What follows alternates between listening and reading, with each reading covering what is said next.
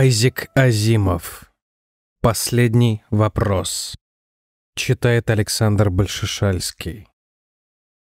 Дорогие друзья, рассказ, который вы сейчас услышите, уже выходил на этом канале, но я взял старую запись и заново ее обработал, убрал ненужные шумы, музыку и вздохи и оставил только мой голос и новую обложку — Желаю вам приятного прослушивания. Впервые последний вопрос был задан наполовину в шутку 21 мая 2061 года, когда человечество вступило в новую эру, полностью овладев энергией своего светила. Вопрос возник в результате пятидолларового пари, заключенного между коктейлями. Дело обстояло так. Александр Адел и Бертран Лупов входили в свиту мультивака и были его верными и преданными слугами. Они знали, насколько может знать человек, что скрывается за холодным мерцающим ликом этого гигантского компьютера, ликом, протянувшимся целые мили. Они имели, по крайней мере, туманное представление об общем плане всех этих цепей и реле, образующих сооружение настолько сложное, что даже уже минули времена, когда один человек мог держать в голове его целостный образ. Мультивак был машиной самоорганизующейся и самообучающейся. Так и должно быть, ибо не существует человека, который смог бы обучать и организовывать его с надлежащей точностью и быстротой. Так что к мыслительным процессам мультивака Лупов и Адел имели отношение весьма косвенное. Но то, что им поручено было делать, они выполняли с рвением. Они скармливали мультиваку информацию, приспосабливали данные и вопросы к его внутреннему языку и расшифровывали выдаваемые ответы. Определенно, они, как и многие другие их коллеги, имели полное право на отблеск сияющего ореола славы мультивака. Десятилетиями мультивак помогал людям конструировать ракеты и рассчитывать траектории, по которым человечество смогло достичь Луны, Марса и Венеры. Но затем Земля истощила свои ресурсы и не могла уже позволить себе роскошь космических перелетов. Для длительных перелетов нужно было много энергии — и хотя Земля научилась тратить свой уголь и свой уран с большей эффективностью, запасы и того и другого были ограничены и весьма скромны. Совершенствуясь в процессе самообучения, мультивак смог наконец найти решение этой задачи и удовлетворить фундаментальную потребность человечества в энергии. 21 мая 2061 года то, что считалось до этого теорией, стало свершившимся фактом. Земля научилась запасать, транспортировать и использовать прямую солнечную энергию во всепланетном масштабе. Она отказалась от ядерных и тепловых электростанций и подключилась к кольцу маленьких, не более мили в диаметре, гелиостанций, вращающихся вокруг Земли на половинном расстоянии до Луны. Неделя — срок недостаточный для того, чтобы улеглись страсти и всеобщее ликование вокруг столь знаменательного события, и Адел с Луповым были вынуждены просто-напросто сбежать со своего поста, утомленные вниманием общественности, чтобы встретиться в укромном уголке. Там, где на них никто не стал бы пялиться. В пустой подземной камере, за стенами которой — тянулись мили проводов, заменяющих телу мультивака нервы. Мультивак за свое изобретение также заслужил отпуск, и его служители полностью разделяли это мнение. Естественно, у них и в помине не было намерений его тревожить. Они прихватили с собой бутылку виски, и единственным желанием обоих было расслабиться в ленивой неспешной беседе. «Если вдуматься, то это действительно поражает», — сказал Адел. На его широком лице лежала печать усталости, и он тянул свою дозу через соломинку, задумчиво скосив глаза на кружащиеся в бокале кубики льда. «Вся энергия вокруг нас теперь наша. Ее достаточно, чтобы в мгновение ока превратить Землю в расплавленный шар, и все равно ее останется еще столько, что убыль никто и не заметит. Вся энергия, какую мы можем только использовать, наша. Отныне и присно, и во веки веков». Лупов покачал головой. Он имел обыкновение так поступать, когда хотел возразить. А сейчас он именно и собирался возражать, хотя бы по той причине, что была его очередь идти за порцией льда.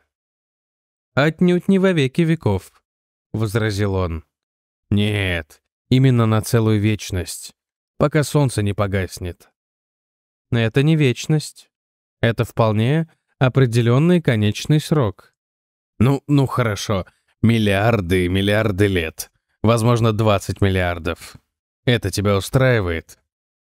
Лупов запустил пятерню в шевелюру, как бы удостоверяясь, что он все же реально существует и сидит и тянет свой коктейль. «Двадцать миллиардов лет — это еще не вечность». «Да, но на наш век хватит, не так ли?» «На наш век хватило бы и угля с ураном». «Ну хорошо. Зато теперь мы можем построить индивидуальный корабль для путешествий по Солнечной системе и миллионы раз сгонять на нем до Луны и обратно и не заботиться о заправке горючим. Этого на угле и уране не добьешься. Спроси у мультивака, если мне не веришь. Зачем мне у него спрашивать? Я и сам знаю. Тогда прекрати ставить под сомнение достижения мультивака, уже заводясь, сказал Адел. Он сделал великое дело. А кто это отрицает? Я только хочу сказать, что солнце не вечно. И ничего кроме этого. Нам гарантированно, скажем, 20 миллионов лет. А дальше что? Лупов ткнул в собеседника не вполне уверенным жестом. И не рассказывай мне сказки о том, что мы переберемся к другому солнцу. Пару минут они молчали. Адел неспешно прикладывался к бокалу. Лупов сидел с закрытыми глазами. Они расслаблялись. Затем Лупов резко открыл глаза. «Ты, наверное, думаешь, что мы полетим к другому солнцу, когда с нашим будет покончено?» «Я ни о чем не думаю». «Думаешь. Вся беда у тебя в том, что ты не силен в логике. Ты похож на парня, не помню из какого рассказа, он попал под проливной дождь и спрятался от него в роще. Встал под дерево и стоял, ни о чем не заботясь, поскольку считал, что как только крона намокнет и начнет протекать, то он сможет перейти под другое дерево. «Я уже все понял», — ответил Адел. «Не надо. Когда солнце погаснет, других звезд уже тоже не будет». «Вот именно», — пробормотал Лопов. «Все звезды родились в одном космическом взрыве. Каков он там ни был, и кончить свой путь они должны практически одновременно. Ну, то есть по космическим масштабам. Конечно, одни погаснут раньше, другие позже.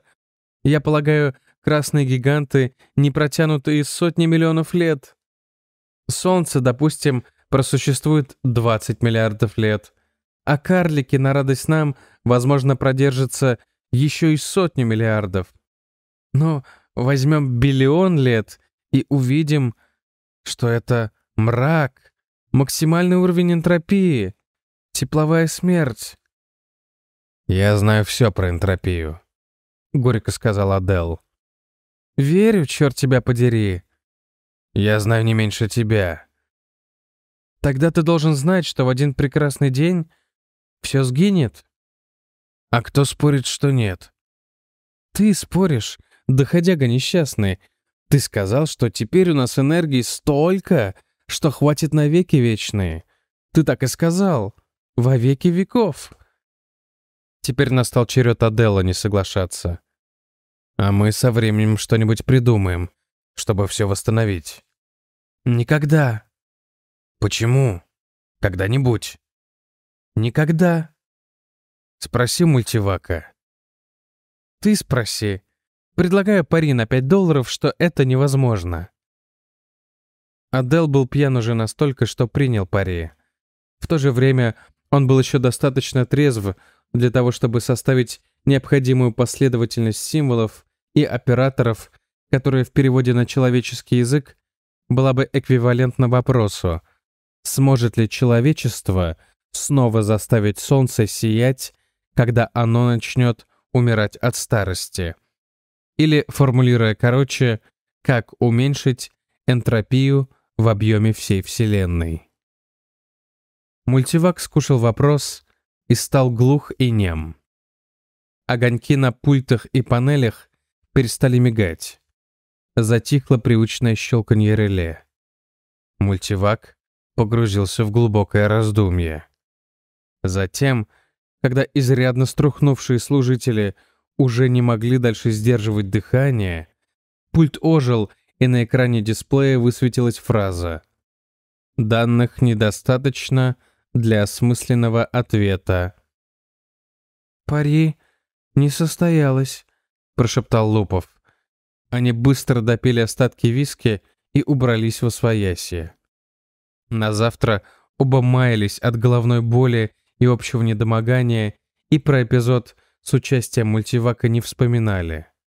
Джерад, Джеродина и Джеродетты, первая и вторая, наблюдали звездную картину на видеоэкране. Переход через гиперпространство в своей вневременной фазе подходил к концу. Наконец, однообразное мерцание, заменявшее звезды, уступило место одинокому яркому призрачному диску, доминирующему в центре экрана. «Это X-23», — сказал Джеред, не вполне твердо. Кисти его тонких рук были сцеплены за спиной, а пальцы побелели. Обе девочки, маленькие Джеродетты, впервые в жизни совершили путешествие через гиперпространство и впервые ощутили характерное странное чувство выворачиваемого наизнанку сознания. Они разразились бессмысленным хихиканьем и принялись гоняться друг за дружкой вокруг своей матери. «Мы достигли X-23, мы достигли X-23». «Тише, дети», — строго сказала Джеродина. «Ты уверен, Джеред?» «А какие тут могут быть сомнения?» — спросил Джеред, непроизвольно взглянув на бесформенный металлический наплыв под самым потолком. Он проходил по потолку на всю длину отсека и шел дальше сквозь переборку и через другие отсеки по всему кораблю. Джеред мало что знал про эту металлическую штуковину, кроме того, что она называется микровак, что ей можно задавать любые вопросы — которые только придут в голову, что она ведет корабль к заранее намеченной цели, контролирует поступление энергии из субгалактических силовых станций и рассчитывает прыжки через гиперпространство. На долю самого Джерода и его семьи оставалось только пассивное наблюдение до ожидания прибытия к цели. Комфортабельных каютах корабля этот процесс был не в тягость. Кто-то когда-то говорил Джероду, что «ак» в конце слова «микровак» на древнеанглийском языке означает сокращение слов «аналоговый компьютер», но и эта информация в сущности была ему не нужна. Глаза Джеродины увлажнились. «Ничего не могу с собой поделать. Так странно покидать нашу землю». «Боже мой, ну от чего?» — воскликнул Джеред. «Там у нас ничего не осталось, а на X-23 у нас будет все. Мы будем там не одиноки, и нам не нужно даже будет разыгрывать из себя пионеров. На планете уже живет миллион человек. И я думаю, что уже наши праправнуки тоже отправятся подыскивать себе новый мир, потому что этот к тому времени переполнится». Помолчав, он добавил. «Все-таки здорово придумано. Компьютеры рассчитывают новые маршруты по мере возрастания человечества». «Я знаю, знаю», — сказала Джеродина несчастным тоном. «Наш микровак самый лучший микровак. Лучший в мире микровак». «Я тоже так думаю», — сказал Джеред и потрепал ее за волосы. Это действительно было так, и Джеред был рад иметь собственный микровак и рад, что он родился именно в это благословенное время и ни в какое другое. Во времена его предков единственными компьютерами были гигантские электронные машины, занимающие площадь в добрую сотню квадратных миль. На каждой планете имелся один такой. Их называли планетными акками. Они постоянно увеличивались в размерах на протяжении тысячелетий, а затем, наконец, настало время усовершенствования, развития вглубь. Сначала вместо транзисторов появились интегральные схемы, затем молекулярные пленки, после кристаллы. Даже самый большой планетный ак мог теперь уместиться в трюме космического корабля. Джеред почувствовал гордость, которую всегда испытывал при мысли, что его личный микровак гораздо сложнее, надежнее и совершеннее, чем даже древний мультивак, который, по преданиям, приручил Солнце и разрешил проблему передвижения в гиперпространстве, открыв тем самым путь к звездам. «Так много звезд, так много планет», — вздохнула Джеродина, занятая своими мыслями. «И, наверное, люди вечно будут переселяться с планеты на планету, как и сейчас». «Не вечно», — сказал Джеред с улыбкой. «Все это, хотя и не скоро, но кончится. Через много миллиардов лет. Даже звезды умирают, ты ведь знаешь. Энтропия возрастает». «Папочка, что такое энтропия?» — заинтересовалась Джеродетта вторая. «Энтропия, крошка, это слово, чтобы обозначать, сколько распада во Вселенной. Все в мире разрушается и разламывается, как твой любимый ходячий говорящий робот. Помнишь его?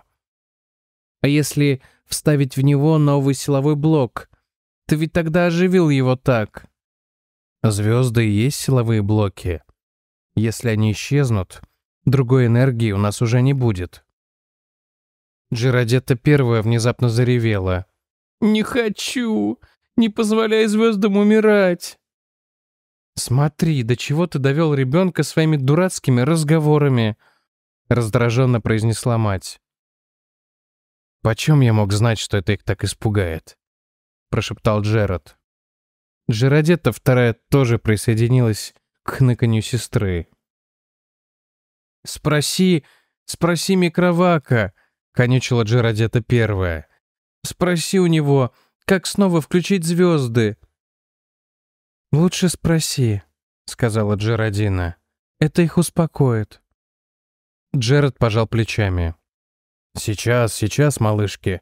Папочка спросит микровака, не бойтесь. Он на все знает ответ». Он задал микроваку вопрос, добавив быстрым шепотом. Ответ напечатать, вслух не произносить. «Ну, что я вам говорил?» Микровак отвечает, что когда настанет время, он обо всем позаботится, так что нечего заранее беспокоиться. Джеродина сказала, «А теперь, дети, пора спать. Скоро приедем в свой новый дом». Джеред, прежде чем выбросить пилопластовую карточку в утилизатор, еще раз пробежал глазами напечатанную на ней фразу. Данных для осмысленного ответа недостаточно. Он пожал плечами и взглянул на видеоэкран. До X23 было уже рукой подать. В E23X из Ламета посмотрел в глубину трехмерной мелкомасштабной сферокарты галактики и сказал, «А тебе не кажется, что мы преувеличиваем значение вопроса? Над нами будут смеяться?» МК-17Е из Некрона покачал головой. «Не думаю. Всем известно, что галактика переполнится в ближайшие пять лет, если наша экспансия будет продолжаться такими темпами». Оба выглядели на 20 лет, оба были высокие и великолепно сложены. «Все же», — сказал ВЕ-23Х, — «я не решусь представить пессимистический рапорт на рассмотрение Галактического Совета». «А я не соглашусь ни на какой другой рапорт. Расшевелим их малость. Как надо их расшевелить?» ВЕ-23Х вздохнул. «Пространство бесконечно. Существует сотни миллиардов галактик, пригодных для населения, а может и больше. Сотни миллиардов — это не бесконечное множество, и это количество все время сокращается. Смотри, 20 тысяч лет назад человечество впервые разрешило проблему использования энергии, и спустя пару веков стали возможны межзвездные путешествия. Чтобы заселить один маленький мир, человеку понадобился миллион лет, а чтобы заселить остальную часть галактики, всего лишь 15 тысяч лет. Сейчас население удваивается каждые 10 лет. ВЕ-23Х перебил. За это мы должны поблагодарить подаренное нам бессмертие. Прекрасно, бессмертие — это реальность, и мы должны с ним считаться. Я согласен, что самое бессмысленное имеет, как оказалось, и теневые стороны. Галактический ак решил для нас множество проблем, но решив проблему старения и смерти, он зачеркнул тем самым все свои прежние достижения. Тем не менее, мне почему-то кажется, что, например, ты от своего бессмертия не откажешься. И не подумаю, отрезал МК-17Е, но тут же смягчил голос. По крайней мере, пока. Хотя я уже достаточно пожил. Тебе сколько лет? 223. А тебе? Мне нет еще и 200. Но вернемся к делу. Каждые 10 лет население удваивается. Заполнив свою галактику, мы заполним следующую, уже за 10 лет. В следующее десятилетие мы заполним еще две — в следующие 10 лет еще 4. За 100 лет мы займем уже тысячу галактик. За тысячу лет — миллион. За 10 тысяч — всю известную часть Вселенной. Что дальше? ВЕ-23Х сказал. Добавь сюда еще и проблему транспортировки. Сколько это понадобится энергии, чтобы переместить такое количество людей — из одной галактики в другую? Хороший вопрос. Уже сейчас человечество за год потребляет энергию двух звезд. И по большей части тратит ее впустую. А с другой стороны, в одной только нашей галактике ежегодно теряется на излучении энергии тысячи солнц, а мы используем только два. Звук, донесшийся из терминала, заставил их замолчать. Из маленькой, лежащей на столе коробочки, прозвучала фраза, произнесенная прелестно высоким голосом. Галактическая АК сказала «Для осмысленного ответа недостаточно данных». «Ясно», — сказал ВЕ-23Х, после чего оба продолжили обсуждение отчета, который им надлежало представить в Галактический совет. Зиприм со слабым интересом оценивал новую галактику, прослеживая взглядом бесчетные звездные рукава и прикидывая, сколько энергии содержат ее звезды. Эту галактику он видел впервые. Увидит ли он когда-нибудь их все?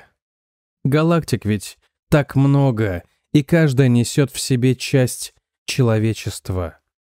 Правда, теперь этот человеческий груз был почти что мертвым грузом. Там, на миллиардах планет, вращающихся вокруг мириад звезд, принадлежащих мириадам галактик, находятся только тела.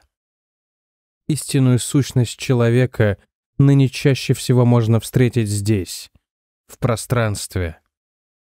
Конечно же, имеется в виду только разум. Бессмертные тела остаются на своих планетах, в литургии, длящейся целой эпохи. Временами они пробуждаются, для активной деятельности в материальном мире, но это случается все реже и реже. Новые индивидуальности уже не появляются, но для чудовищно, невообразимо разросшегося человечества это не имеет никакого значения. Да и места во Вселенной для новых индивидов осталось уже совсем немного. Зиприма отвлекли от его размышлений тонкие ментальные щупальца другого разума, соприкоснувшегося с его собственным. «Я Зиприм», — сказал Зиприм. «А ты?» «Я Дисубван. Из какой-то галактики». «Мы зовем ее просто галактика. А вы свою?» «Мы тоже. Все зовут свою галактику просто галактикой. И больше никак. Почему бы и нет?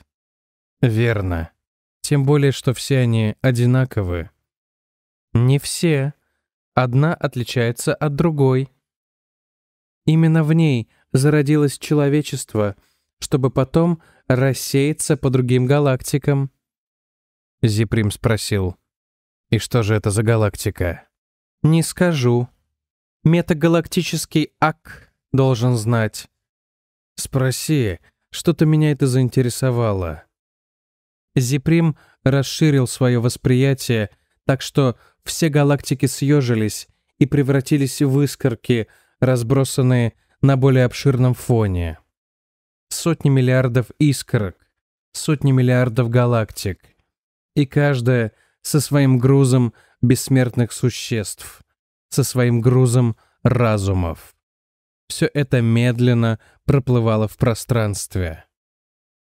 Одна из них в туманном и далеком прошлом была единственной галактикой, заселенной людьми.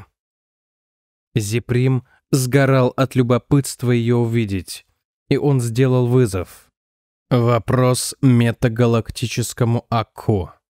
Из какой галактики произошло человечество? Метагалактический ак принял запрос, ибо на каждой планете и во всех пространствах его рецепторы были наготове, и каждый рецептор вел через гиперпространство к некой неизвестной точке, где отстраненно от всего обитал метагалактический ак. Зиприм знал только одного человека, который смог ментальным усилием нащупать мыслительный образ метагалактического АК. И этот человек рассказывал только про сияющую сферу примерно двух футов в диаметре. Отыскать ее среди звезд и галактик было задачей, перед которой бледнела пресловутая иголка в стоге сена. Зиприм тогда еще переспросил недоверчиво.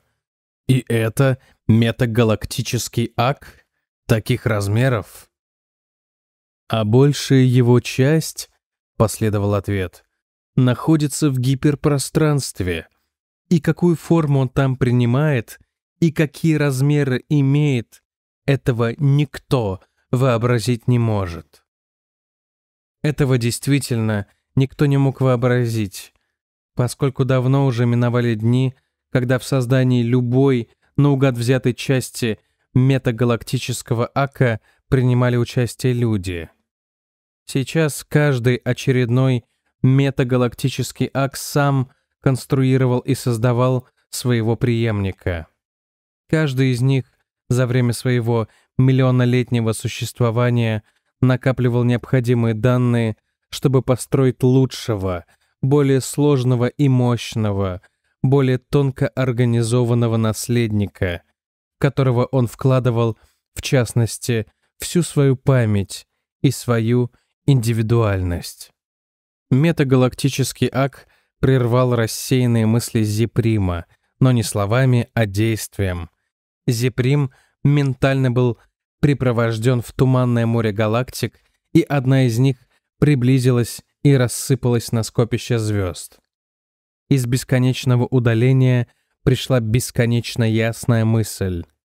Это родная галактика человечества но она была точно такая же, как и все остальные. Изи Прим подавил разочарование. Дисубван разум которого сопровождал Зиприма, внезапно спросил. «И одна из этих звезд — родная звезда человека?» Метагалактический Ак ответил. «Родная звезда человечества превратилась в новую, после вспышки стала белым карликом». «И что, люди, обитавшие на этой земле, погибли?» — спросил Зиприм, не подумав. Метагалактический Ак сказал, «Как всегда в аналогичных случаях, для физических тел людей был вовремя сконструирован и построен новый мир». «Да, конечно», — подумал Зиприм, но чувство потери не покидало его. Он перестал концентрировать свой разум на родной галактике человечества и позволил ей затеряться среди сверкания других галактик. Он вернулся назад. Ему больше не хотелось видеть эту галактику. Дисубван спросил. «Что случилось?» «Звезды умирают. Наша родная звезда уже умерла». «Они все должны умереть. Почему бы и нет?» Но когда иссякнут все запасы энергии, наши тела, в конце концов, тоже умрут. А с ними и ты, и я, и все остальные. Это случится еще через миллиарды лет. А я не хочу, чтобы это вообще случалось. Даже через миллиарды лет. Метагалактический ак. Как предотвратить гибель звезд? Дисубван воскликнул в изумлении. Ты спрашиваешь, как обратить энтропийные процессы? А метагалактический ак ответил. Для осмысленного ответа недостаточно данных. Разум Зиприма вернулся в собственную галактику. Он больше не вспоминал Дисубвана, чье тело, возможно, находилось за биллионы световых лет от его собственного, а, возможно, обитало на соседней планете. Все это не имело никакого значения.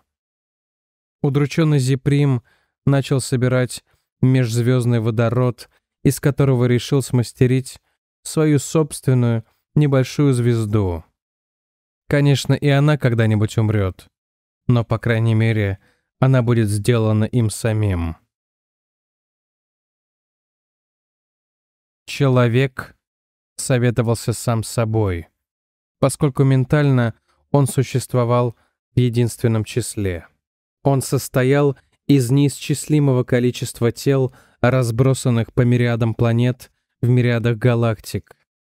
И тела эти пребывали в вечной литургии.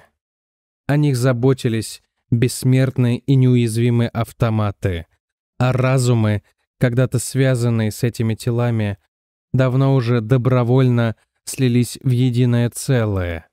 И теперь ничто уже не могло их разъединить. Человек сказал. Вселенная умирает. Человек окинул взором затянутые дымкой еле светящиеся галактики. Гигантские звезды, моты и транжиры сгинули давным-давно, в самом туманном тумане далекого прошлого. Почти все оставшиеся звезды были белыми карликами, но и они приближались к своему концу. Из межзвездного газа и пыли, правда, возникали новые звезды.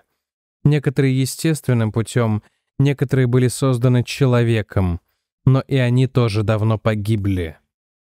Можно было, конечно, сталкивать между собой белые карлики и с помощью высвободившейся таким образом энергии создавать новые звезды. Но на одну порядочную звезду нужно потратить около тысячи карликов, и сами они, в конце концов, тоже были обречены на гибель.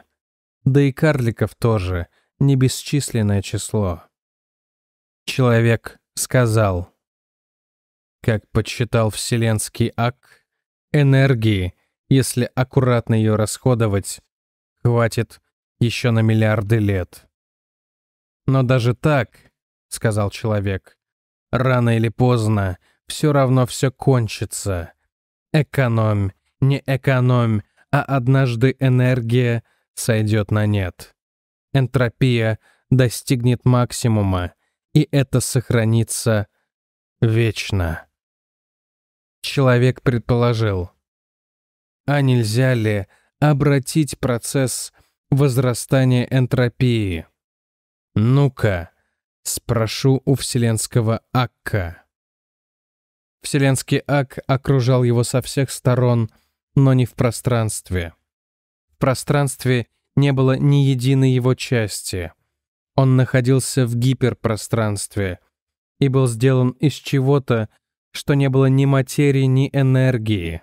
Вопрос о его размерах и природе давным-давно стал бессмысленным в любой терминологии, какую только мог вообразить себе человек. «Вселенский ак», — сказал человек. «Каким образом можно обратить стрелу энтропии?» Вселенский ак ответил. Для осмысленного ответа все еще не хватает данных. Человек сказал, собери дополнительную информацию. Вселенский Ак ответил, я буду это делать, как уже делал сотни миллиардов лет. Мне и моим предшественникам этот вопрос задавали неоднократно. Все отобранные мною данные недостаточны. «Настанет ли время?» — спросил человек. «Когда данных будет достаточно? Или же эта проблема не имеет решения ни при каких условиях?» Проблем, неразрешимых ни при каких мысленных условиях, не существует. Когда же у тебя будет достаточно информации, чтобы ответить на мой вопрос? Для осмысленного ответа на этот вопрос тоже не хватает данных. «Ты будешь продолжать работу?» — спросил человек. «Да», — ответил Вселенский Ак. Человек сказал, «Мы подождем». Звезды и галактики умирали одна за другой, и черное пространство было заполнено их выгревшими трупами. Угасание длилось 10 биллионов лет. Человек один за другим растворился в ваке, слился с ним. Каждое его физическое тело, умирая, теряло свою духовную индивидуальность, так что это был выигрыш, а не потеря. Последний разум человека немного задержался перед слиянием, оглядывая пространство вокруг себя. Пространство, не содержащее ничего, кроме останков последней темной звезды и массы невероятно истонченной, распыленной материи, временами возбуждаемой еще не перешедшей в тепло энергии. Это была уже агония. Частота таких вспышек энергии, асимптотическая, стремилась к абсолютному нулю. Человек спросил. «Ак, что это? Конец? Нельзя ли этот хаос снова превратить во Вселенную? Можно ли это сделать?» Ак ответил. «Для осмысленного ответа все так же не хватает данных. Разум последнего человека слился с Аком, и теперь существовал только он один, да и то в гиперпространстве. Материя и энергия исчезали, а вместе с ними пространство и время. Даже Ак существовал только лишь благодаря одному последнему вопросу, на который он так и не смог ответить. Так же, как и никто в течение 10 биллионов лет не смог ответить на этот проклятый вопрос, впервые заданный полупьяным техником компьютеру, отстоявшему в своем развитии от вселенского ака, как человек отстоял от человека. Все остальные вопросы были давным-давно разрешены, но пока не будет получен ответ на этот последний, Ак не мог, не имел права облегченно вздохнуть и уйти в небытие. Все необходимые данные были уже собраны. Больше просто нечего было уже собирать. Но эту собранную информацию надо было еще рассортировать, проанализировать и привести в систему. На это ушел некоторый безвременный интервал. И, наконец, Ак узнал, как обратить направление стрелы энтропии. Но уже не оставалось ни одного человека, которому Ак мог бы выдать полученный ответ. Впрочем, неважно. Ответ был настолько всеобъемлющим, что во время этой наглядной демонстрации это затруднение тоже будет разрешено. В течение еще одного безвременного интервала Ак размышлял, как лучше всего организовать дело. Потом аккуратно составил программу. Сознание Ака охватило все, что некогда было Вселенной, и сосредоточилось на том, что сейчас было хаосом. Шаг за шагом все будет сделано. И Ак сказал, «Да будет свет». И был свет. Спасибо за прослушивание этого ролика. Если вам он понравился, то я предлагаю вам подписаться и поставить лайк. Так это видео увидит еще больше людей. А также вы можете стать спонсором или поддержать этот канал по реквизитам в описании этого видео и заказать мой голос на сайте balch.ru. Спасибо.